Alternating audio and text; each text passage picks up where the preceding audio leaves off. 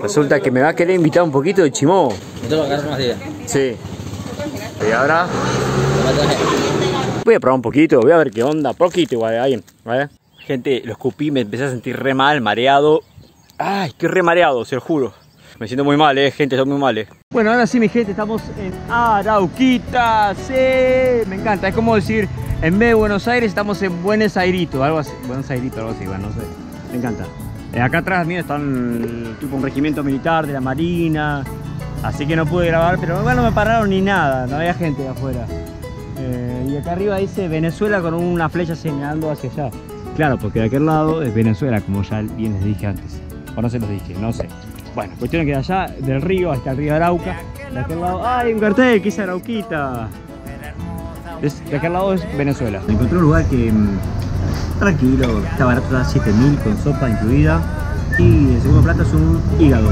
7000 son 2 dólares, 2 dólares más o menos. La poche acá. La poche acá como siempre territorial rompiendo las bolas. Bueno, vamos a comer, vamos a comer y seguimos para. Vamos a comer y seguimos para Arauca que falta un montonazo. Dile donde llegué, sí, Arauquita. Tengo una foto acá me la saqué en Instagram en 2016, más o menos 2017. Ay, yo, la, yo tengo una emoción de estar acá, tipo. Eh, yo voy a Arauca, ya saben, ¿no? Pero esto es como Arauquita, es más hace chiquitito. Hermoso. Me hago una foto y las voy a dejar acá para que la vean, unas fotitos, o si no en mi Instagram, saben, un buen viajero, me pueden ver en acá, en Arauquita. Sí, saben que me estaba por ir y me puse a mirar a estas personas, a, estas esculturas. Wow, ¿no? Cuánto trabajo acá. No solo del que las hizo, sino de lo que representan, el trabajador, el colombiano, el, el tipo que vive arando sus herramientas, su tierra, arando su tierra en realidad, ¿no? Vamos a acercarnos un poquito más, a ver si podemos ver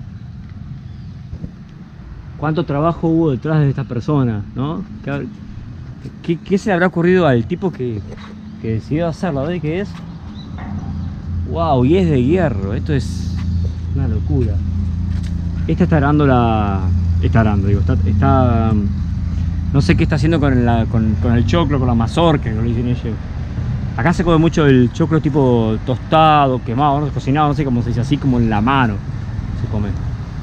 ¿Y este qué está haciendo? A ver. Ah, y ese no sé, no sé qué significaría ese, este, mm, ese cosito que tiene. Este está recolectando frutas, frutos. A ver. ¡Wow! ¡Qué belleza! La verdad que mis felicitaciones para estas personas que, hicieron este trabajo. ¿eh? El barco igual no entiendo por qué. ¿Qué tiene que ver el barco de Arauquita? Ah, sea por el río, claro, Leo, sos un imbécil. Acá está el río que te cruza del otro lado es Venezuela. Acá dice un poquito, ven, dice monumento, bonguero y proceso del cacao. Ves que soy un desastre yo. Acá lo explica bien. Obra realizada gracias al gobernador de Arauca. Bueno. 2014. Muy bello, muy bello. La verdad que uno lo, pasa por encima, se saca una foto y sigue. Pero me quedé quedado un ratito observándolo y tocando a ver. Qué bonito, qué bonito, qué lindo trabajo. ¿eh? Muy buen trabajo. Bueno, saliendo de Arauquita ya hay un poquito más de vegetación a los costados de la ruta, tipo que tengo que andar esquivándola. Me llamó un poco la atención de que me dijeron, sí, yo te vi que pasabas, sos un loco, andás sin remera. Me quedé como, no entiendo qué significa andar sin remera. Igual me dijeron re buena onda. Será por este, este físico todo tallado a mano. No, pero ellos eh, se tapan bastante por el tema del sol. Como que el sol les daña la piel. A mí como que la verdad que ya no me importa el sol. En ese sentido, ¿no? Así que... Bueno, les muestro un poquito el camino. Como viene de este lado está bastante vegetativo. Gente, saben que me dijeron muchas personas que no pruebe esto porque no es alucinógeno, pero tiene efecto de la droga. Yo estoy solo, ¿miedo dónde estoy? En el medio de la sabana, en Colombia. Voy a probar un poquito, voy a ver qué onda, poquito igual, ahí, ¿vale? Que no, que no lo traigan, me dijeron. ¡Uh! ¡Uh! Es horrible esto. Bueno, lo voy a llevar. ¡Uh! ¡Ay, qué asco que es! Probé poquito. Es amargo, pero amargo como la amargo, imagínense morder un... ¡Ay! Algo bien picante y amargo. Oh, muy, un asco. ¡Ay! Un asco. Gente, lo escupí, me empecé a sentir re mal, mareado. Ay, estoy re mareado, se lo juro. Es... No lo voy a comer a eso. Espero que no me pase nada porque estoy acá. Uf, me siento muy mal, eh, gente, estoy muy mal, eh. Gente, me siento re mal, probé esa... Chimú, no sé qué carajo era, chimú, chimón, no sé cómo era. Me siento re mal, estoy re mareado, miren lo que mis piernas, se mueven las piernas solas. Estoy como tambaleándome. Y probé muy poquitito, muy poquitito, eh. Miren cómo estoy, miren cómo estoy, miren. Sin hacer nada se mueve el cuerpo para todos lados. Ah. Me siento mareado. Ah. Muy mareado, miren lo que es, miren mi estabilidad, ¿eh? ¿no? Mojé la cara ya, tomé agua, laté a la pochi y me, orillé eh, a la ruta, en la ruta porque tengo miedo de desmayarme, tengo ganas de vomitar, me siento mareado. Está por llover, está horrible. Y voy a guardar todo porque tengo miedo de desmayarme y obviamente caerme en la bicicleta. Así que espero que por favor se me pase rápido este efecto. Ya, ya, ya, se me, se me pase ya. Recién paré más atrás a hacer caca, mucha caca. Me, ya me habían avisado que me iban a dar ganas de ir al baño. Hice acá al costado, no aguantaba más. sentía muy, muy mal, todavía me siento mal. Me bajó la presión, me parece. Ya está por llover, está horrible. Le hice seña un par de autos para que paren, a ver si me podía llevar. Horrible, una sensación horrible. Tengo ganas de llorar, todo, porque me siento mal. Em,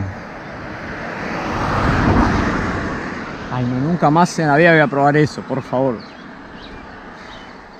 Tengo ganas de que para alguien que me lleve. Si yo siempre me siento mal. Me siento mal y tengo, nada, tengo miedo que le pase algo también a la Pochi, ¿no? que está acá cerca. La dejé atada a mí, cerca a mí por las dudas.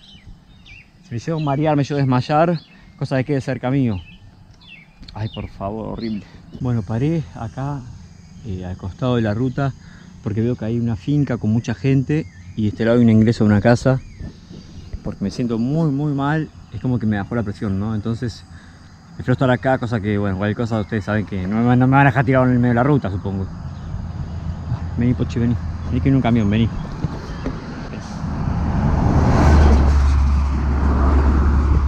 Por favor. Estoy como mareado. Estoy que se mueve el cuerpo así para todos lados. Creo que me bajó la presión, debo estar pálido, a ver. Uf, sí, estoy re pálido, estoy pálido. Realmente me bajó la presión. Y eso que probé un poquito nada más, eh. Ay, por favor.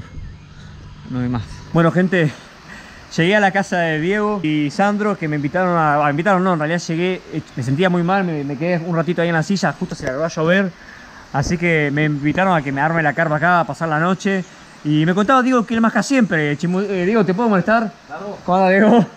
Tranquilo. Él es gran, gran consumidor de chimú. ¿Cómo es eso? Pues yo lo utilizo para trabajar. Para trabajar. Porque pues le da a usted como, como fuerzas, como vigorosidad, le da como frío para el sol. Cuando usted está bajo el sol, quita como la temperatura, la baja.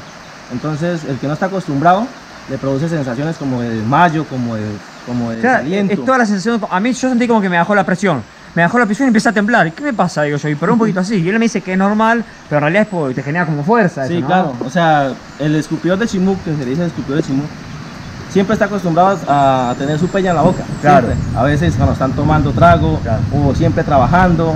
Entonces, al, no estar usted acostumbrado, claro, le afectó totalmente. Mal, mal. Totalmente. Ahora me estoy recomponiendo porque me dieron un cafecito, ellos tipo... Yo entré dije nada porque digo, van a pensar, después le conté, mira, comí un poquito de chimú y se me reían como diciendo, ah, claro, mal, mal, mal, mal. Una mala pasada le hicieron, una mala pasada. Fue una mala experiencia, pero igual no me da por vencido. ¿Quién te dice que cuando llegue a los llanos me haga un video exclusivamente de chimú? Sí. Pero no creo que lo pruebe yo. Ah, no, pero pueda que haga un video para que aprenda a escupir chimú. Ah, sí, claro. ¿Cómo es eso? ¿Cómo? Sería bueno. Ah, tienes razón, tienes razón. sí. Bueno, pero eso lo puedo a vos. ya está, la experiencia que tuve nunca más, digo. Así que bueno, yo voy a armar la carpa acá seguramente, si no para de llover paso la noche acá y mañana continuamos porque sigue el video, tengo que llegar a los llanos, mañana es la fiesta del llanero.